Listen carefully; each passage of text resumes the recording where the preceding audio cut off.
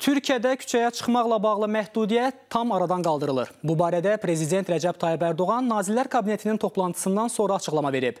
Dövlət başçısı deyib ki, ölkədə epidemioloji vəziyyət nəzərə alınaraq iyulun 1-dən küçəyə çıxmağa görə tətbiq edilən məhdudiyyətlər ləğv olunması barədə qərar alınıb.